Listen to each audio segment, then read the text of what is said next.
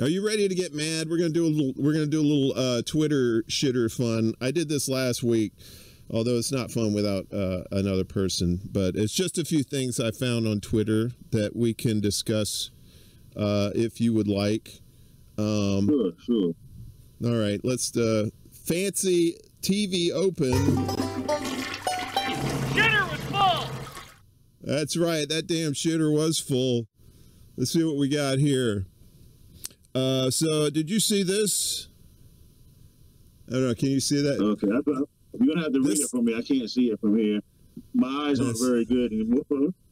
So, this is a new warning. I think uh, if you're if you're going to follow somebody on Twitter, yeah, I'll totally read it. It says, "Are you sure you want to follow?" And then it's the person you're trying to follow.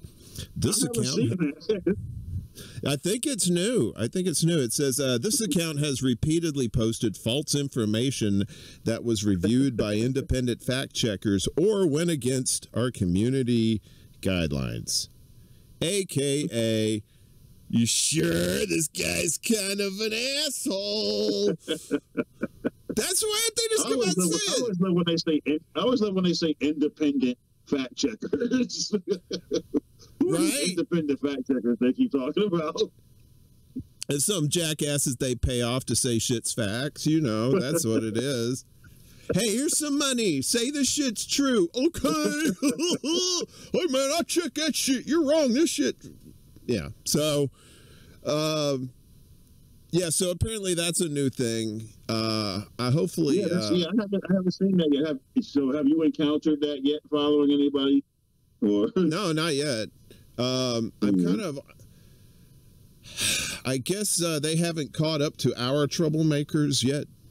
Um, hopefully, uh, you know, none of us uh, fall into that category. But uh, the way things are going, you never know. So, you know, hell, we're making up like you know little sixth grade words for you know for the pandemic uh, and the shit that goes on with it just so they don't take you off the air. I mean, that's just that's kind of ridiculous. So, um, yeah, it's kind of cra- it's kind of crazy because you got to try to walk a tightrope.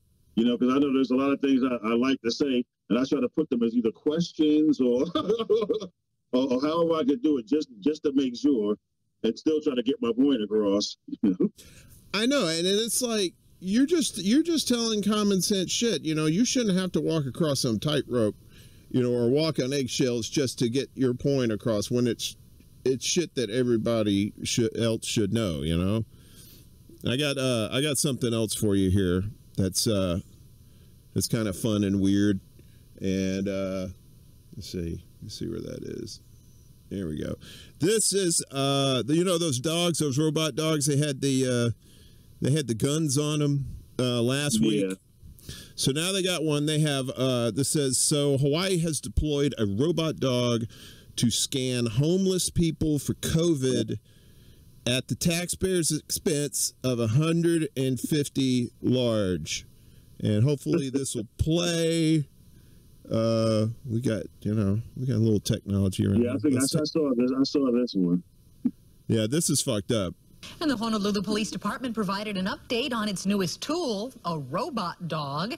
Spot, the $150,000 robot purchased earlier this year, is used to screen individuals at homeless sites on Oahu. HPD says since the start of the pandemic, the sites have taken in more than 1,700 homeless individuals and have had only 14 positive COVID cases. They believe the mitigation procedures put in place and other technologies such as Spot have helped keep the numbers down. Having the ability to deploy something that can do all the interactions on Spot. a mobile mobile platform and take the possibility of transmission out of the equation. For me, I, I really don't think that um, over the long term, $150,000 is a waste. Spot is able to take a person's temperature from seven feet away in a fraction of a second. It also has two way communication capability and can deliver PPE, food, and water to someone who does test positive for COVID. The fuck is that? the hell? First it's like, all right, we got a gun. We, Spot's got a gun. Now it's just like, now I'm Dr. Dog. Uh, I can yeah. I can tell. If, what if you're just hot? You know, what have you've been running or something? And you're like, you know, like you're gonna have, you know, you may still be 98.6, but like you may be radiating some heat, right? And you're like, oh, I'm gonna take a, I'm gonna take a rest. And here comes, you know, robot Spot. Wow, you know, wait a minute. hey Spot, how you, how you doing, buddy? Ah! Drama a little bit of they, so they never they never thought about spending taking that hundred and fifty thousand dollars and actually doing it something for the people who are actually homeless. yeah, take the hundred fifty thousand and help the homeless not be homeless no more, and then you don't need no fucking robot dog going around going, "What's your temperature? What's your temperature?" Do, do, do. Uh, yeah, they never, yeah, they never, they never, they never considered trying to, you know, like try to stop the homelessness. We're just going to send Spot around. right? It's like well, we we we made sure that Buford couldn't uh he couldn't buy any bullets. So uh well why didn't you just take his gun away? Uh we, we didn't think about that either. Uh I got something else here for you. I told you we got some crazy shit on here. So, you know, hang on just a moment. Let me get this uh there we go. And oh no. It's nighttime in the city. Wrong one. See, there's this thing. Uh, it says eat bugs, not BS. Um, this is a thing where they're trying to get you to eat roaches and shit. Uh, 69 69% protein, 2,000 times less CO2 than beef. It's www.bug.recipes Hashtag all bug, no bull. All right. Is that real? That's real. Look, man, unless you and I are tripping balls, that shit's real right there. Eating bugs. That's what they want. Who, who is it? Who is it that's promoting that? Who is it that's promoting that? I don't know. I'm gonna this way. Bugs dot recipes. Hang on a second. Now, now we're gonna have to look this shit up. Dot recipes. All right. What? Oh, what? Receipts? I don't know how to spell that shit. Fuck it. Uh. But they're talking about CO2. Are they just trying to say if we eat bugs, we'll be more environmentally friendly? I guess. Or they? Or they know shit's coming. Like some sort of apocalypse is coming. It's like Go dig you a hole. Go dig you a root cellar. All right. Go go get you a bunch of canned shits. Go get you some MREs and get to starting to eat bugs right now because right. you're gonna do it later. prepare yourself. Might as well prepare yourself familiar yourself with that taste now because later you're gonna be having a Big Mac with like you know cicadas and shit in there. Yeah. So uh so yeah, I, I, I thought that I thought that was funny. I was like, oh wait, they're going for a health angle. Then they're like, nah, they're uh, they just want you to eat bugs, dude. Um, like uh, Hall and Oates said, I can't go for that. Uh, no, no, no can do. So we got uh, this thing here. Did you see this about the Quad City uh, Quad Cities DSA? Um, oh yes, yes, I, I, saw that. Actually, I saw that a little while before we came on. Yeah, I was hoping you had, you had seen some of these because uh, th- this is uh, I think this is out of uh, where uh, the Quad Cities. I'm not sure where that exactly that is. Maybe uh, somebody in the chat will know that. Think it's somewhere like around Iowa or something. Anyways, uh, the Quad Cities DSA does not endorse the rally tonight at the John Deere Davenport Works, and we encourage our members not to participate. What the fuck, man? I'm like, okay, DSA says, oh, well, you know, we're trying to run people and get them into office. It's like, well, okay, that's, they think electoral politics is good but you also have to have some direct action to go with it. And this is direct action. And they're saying, like, well, there's, uh, based on the language of the injunction, the union, its members, blah, blah, blah, bunch of fucking wimps and don't want to do the shit. Uh, paraphrasing, but it's basically what the shit says. So, um, Yeah, But I I, mean- think that's the first time. I think I saw them do that with another strike. I, I can't remember where it was. I can't remember which company it was. So this is like a um a constant thing. You know, it's amazing how they talk about how we need all of this action, and whenever there's a time where somebody wants to protest or strike, the same people that tell us we should be protesting and striking are the people that all of a sudden, when it happens, try to give us a reason why we shouldn't be protesting or striking. And, You know, it, it almost it almost seems like um, we all being set up. almost seems that way. Like maybe these people are actually not working for us. I know this isn't smell-o-vision, but uh, I smell bullshit. big, big, big, uh, big smelling the bullshit there. there are your bulls, right there with the crickets. Anyway, so yeah, I mean they, that was the thing though uh, when they got called out because in the handbook it says like they were gonna like force the vote on uh, you know try and hold uh, Nancy Pelosi accountable and try and shake her and stuff and then they said nah we just kidding. We was just fucking around. We we didn't know what we was talking about. Um, so anyway so I I, I tend to get uh uh, into, let's say, interesting conversations with uh, people from DSA online. And uh, let's just say uh, it doesn't stay interesting very long. Finally, just something else in case you wanted to get pissed off. Um, if your blood pressure was too low, Darryl, I got that. I got you. All right. I, I'm going to raise it for you a little bit. Let's see what you got.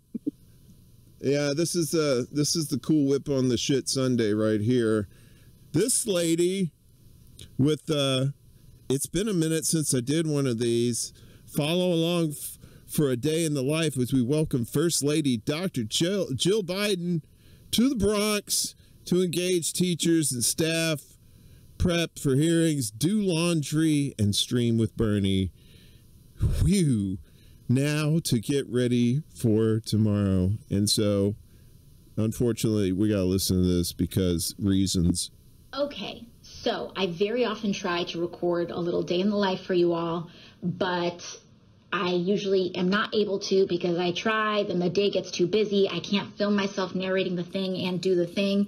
Anyways, today I'm going to try to change that because First Lady Jill Biden is coming to visit right here in the Bronx, our district, PS 83, and I'm the congresswoman to receive her today. So, what does that look like? Uh, First thing I needed to do this morning was that I needed to go to a clinic and get a COVID test that was witnessed and administered by a All right, all right, you get the gist. I don't know if you uh, had your meal for the evening or not, but I didn't want to see it come out because of that vomitous bullshit. So she cut, you know, uh, what is it? Uh, Jenny on the block, uh, back in uh, back in the Bronx. She's ready to hang out with her peeps and her home slices, and she's bringing some old white lady with her. That's some that's some eighties. That's some 80s sitcom shit right there. You know, she's from the hood and Jill Biden's not. She's coming back to the Bronx. The Bronx and the white bitch will be right back. I Um, just can't take the, the thought of hearing hearing AOC and Jill Biden like in the same conversation. can you I- I imagine what the, Joe Biden? You know, like Joe Biden is like the weekend, like you know the movie Weekend at Bernie's. Uh, that's the way I look at her. Like she's like dragging Biden around. You know, the only thing she wanted to be first lady so bad. I, I mean, you know, this this is a woman who does not love her husband. I mean, you can see that. you know? He said, "Listen, Joe, Joe, we are going to the White House. Joe, I will be first lady." bitch? I have waited too damn long and I have been with your stupid ass for too damn long. You've ran for president like eight fucking times and now you finally won. We're gonna I'm gonna change these fucking curtains over here too. Fuck these curtains. Why do you gotta bring that Oh, bitch man, back to the is- Bronx? Uh, you imagine her like walking around just like, uh, oh, oh, what? See, this is this is what they call a bodega. Uh, but they go, do they sell drugs there? Uh, well, some of them, but you know, not technically all of them. You, you know, it's who you know. It's all you know. It's New York. Yeah, ain't nobody want that bitch around there. I've I've been to, I've been to, but I mean, where she's from, uh, AOC. I don't think it, she's not from South Bronx. She's like more from uh, Queens Queens Bronx, like somewhere weird up Yeah, there. yeah. I know. I know that's her district. You know. It's, She says I know the Bronx. food parts of Queens. Yeah. Right, right, yeah. It's probably more because uh, it's probably more Queens than than Bronx. I mean, there is Bronx, but you know, it ain't South Bronx. You know, she ain't wearing Kevlar or nothing. So, you know, No. she uh, she she don't she looks like she might blow away in the next wind that comes by. You know, she don't look too street tough. You know what I mean? So, I'm not saying you know she might be a ninja. Who knows? You know, we all have secret lives. No, I don't- I Um, don't think I don't think the AOC is you know growing up and growing up and surviving the hood. But anyways, didn't she? She really grew up in Westchester, didn't she, or somewhere? Yeah, I think so. It was like she went to some fancy school or something, and you know, that's like me saying I I'm from New Orleans, but you know I live like a hundred miles away over in Yeah. Mississippi. You know, but you know it's so close. I'm you know it's it's like a suburb. Mississippi is basically South Mississippi is basically a suburb of New Orleans. So, uh, you know, but you know, it used to get me chicks back in the day. They're like, you know, they're like, "Oh, you you're from New Orleans? Ew, that's cool." Like, yeah, sure, I'm from New Orleans. Ooh. Um,